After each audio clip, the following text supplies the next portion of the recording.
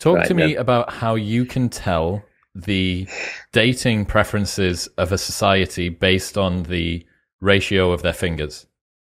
Um, it it sounds bizarre, doesn't it? But it seems to work quite well, and and this was established um, uh, both in, in in animals and in in humans. So it works quite well in primates.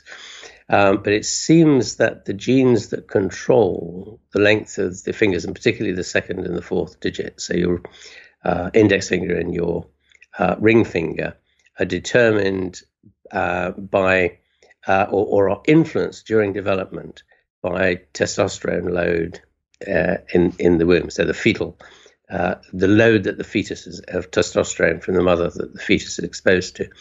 Um, the higher that is, um, the uh, uh, shorter the the index finger is.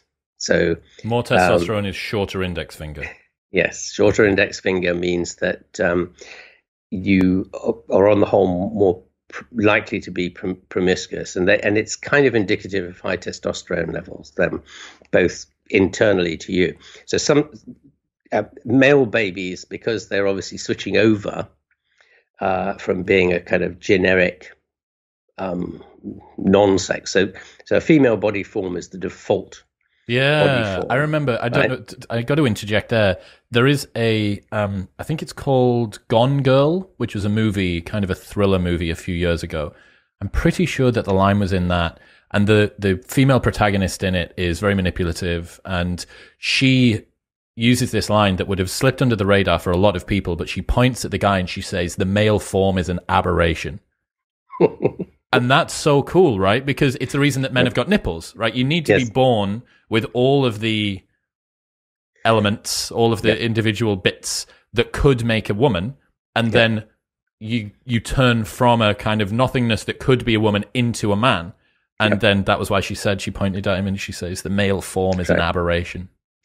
Yeah, well, this is also what's known um, as the race to be male because it depends on how fast the fetus grows. So it's a combination of having a Y chromosome and how how how how much fat the baby lays lays down, and that switches the brain over from this kind of generic female brain into a male brain, which is clearly missing lots of bits that should be there as a result. Okay, so Um, what you were saying before, the finger length, that isn't the determinant of the No.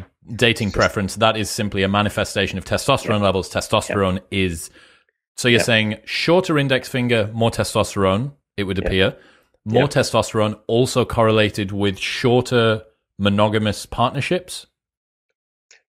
Um, normally, it would be uh, either totally promiscuous mating systems or mating systems in which males compete with each other for to monopolize groups of females. So, what's sometimes known as a harem-based um, social system, where you have one male uh, and a number of females and their offspring.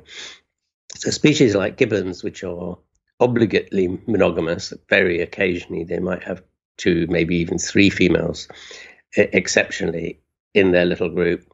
Uh, but you know, ninety-eight percent of gibbon groups in the wild are strictly monogamous, and the pair stays together for, for effectively for life. Very long index fingers. Uh, no, no, they're very equal, right?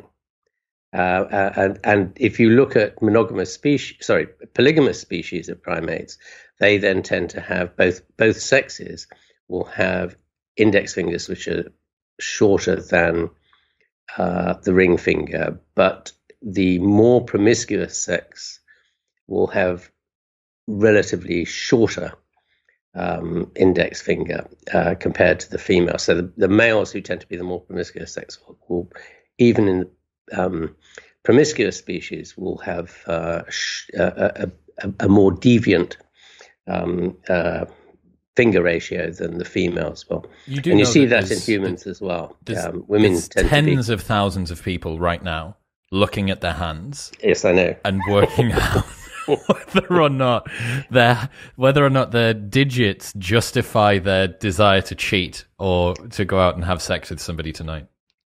Yes, well, well, it, it, um, the, you have to be a little bit careful because the padding of the flesh and the muscles around the finger bases disguises the point where you should be measuring from, right? So you, you need to find the joint between the um, uh, finger, um, uh, the bottom finger bone and the top end of the first um, hand bone, if you like.